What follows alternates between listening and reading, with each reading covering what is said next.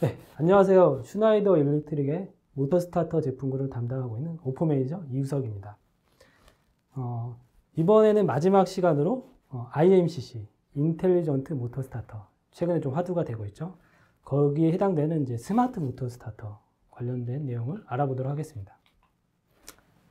자, 그러면 IMCC가 뭐냐?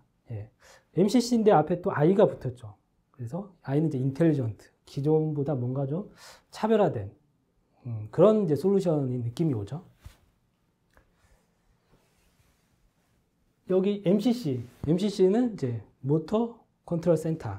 그래서 이 여러 개의 모터 스타터들이 있으면 이제 그러한 것들을 어, 어떤 한 군데 사이트에서 집중적으로 동작을 하고 어떤 관리를 해주는 그런 컨트롤 센터를 이제 그 MCC라고 얘기를 합니다.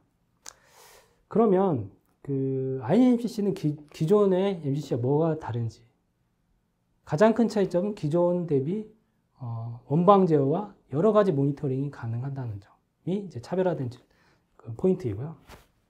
예를 들면 기존에는 보통 이제 모터를 보호하면 이제 전류로만 보통 보호를 해요. 그 정도만 해도 충분했었죠.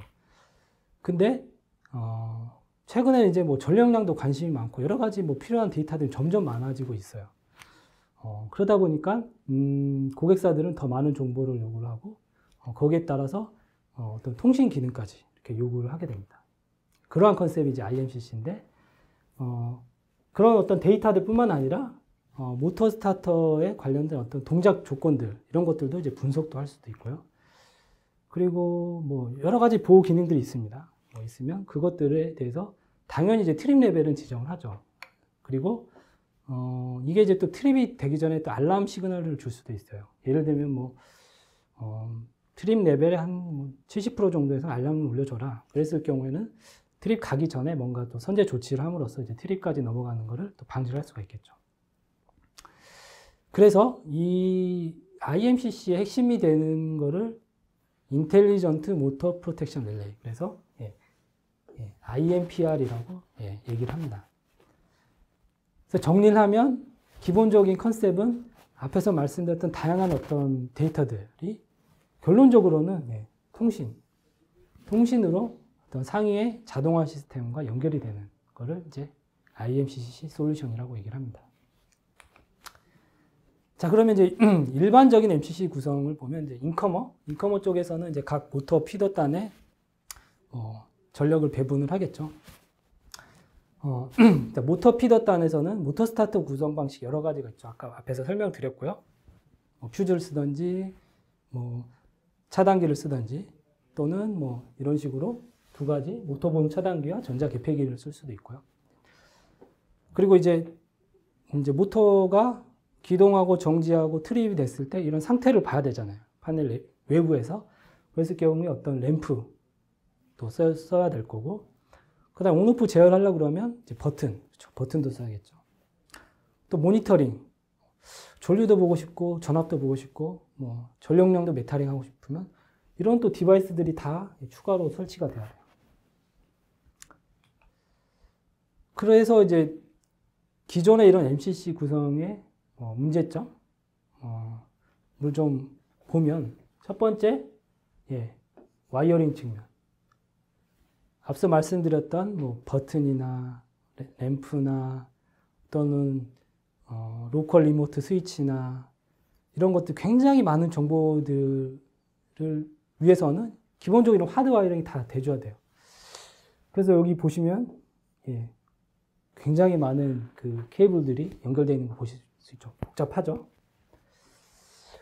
두 번째로는 모터 보호 측면에서 어, 전류 말고 또 다른 거를 보고 싶다 그러면 추가적인 그런 device들을 계속 추가를 해야 돼요.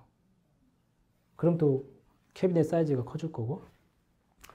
그리고 또 마지막으로 통신 위해서는 이런 그 멀티코어 또 케이블을 더 사용을 하셔야 됩니다. 이게 기존의 어떤 MCC의 좀 문제점이고요. 그럼 이제 IMCC로 넘어가 보면 IMCC는 앞에서 말씀드렸던 기본적으로 다 통신으로 연결이 된다고 말씀드렸었죠. 그래서 이 cubicle의 요 통신 라인, 요 통신 라인만 하나 연결하면 모든 이런 wiring 작업이 다 끝나는 거예요. 그렇기 때문에 기본적으로 그렇죠? 어떤 space와 wiring 비용이나 어떤 그런 시간을 줄일 수가 있을 거고요. 어, 모터 보호 측면에서도 IAMPR 쓰게 되면 여러 가지 모터 보호 기능이 가능합니다. 그렇기 때문에 이 상위 시스템에서는 모든 정보들을 한 번에 받아볼 수가 있겠죠. 예, 좀 마지막 페이지인데 요거는 그 IMPR 말씀드렸던 IMCC의 핵심인 IMPR에 대해서 좀 예, 알아보도록 하겠습니다. 기본적으로 이렇게 예, IMPR 본체가 있고요. 어, 이 IMPR은 이제 여러 가지 정보들을 받습니다. 전압, 어, CT를 통해서 이제 전류도 입력을 받을 거고요. 그 다음에 어, 지락도 봐야 되는데 그러면 ZCT를 통해서 또 지락 전류도 어, 입력을 받고 이러한 정보들을 받아서 결론적으로는 이런 식으로 이 전자 개폐기의 어떤 동작 신호를 주거나 때에 따라서는 뭐 여기 안 보이지만 상위 어떤 차단기에도 또 시그널을 줄 수도 있고요. 이렇게 받고 그 다음에 이제 어, local local이라 하면 이제 보통 그 어, 판넬에 도어에서 이렇게 확인할 때는 이런 디스플레이 디스플레이를 통해서 설정도 하고 그 다음에 어떤 trip이나 이런 이력들도 확인을 하시고요. 또 필요하다면 이런 또 스위치를 달아서 또 입력을 줄 수도 있고요. 결론적으로는 여기에 모든 이런 정보들이 상위에 PLC나 DCS 쪽으로 이런 정보들을 한 번에 통신 라인으로 연결이 됩니다. 네. 어, 이상으로 그 motor starter 어, 관련된 내용을 마치도록 하겠습니다. 어, 오늘 내용이 좀 짧을 수도 있습니다. 근데 어, 사실 이제 더 많은 그 자세한 어떤 내용이 필요하시면 오프라인 저희 슈나이더 아카데미가 준비되어 있으니 좀 참석해 주시면 예, 감사하겠습니다. 네, 이상입니다.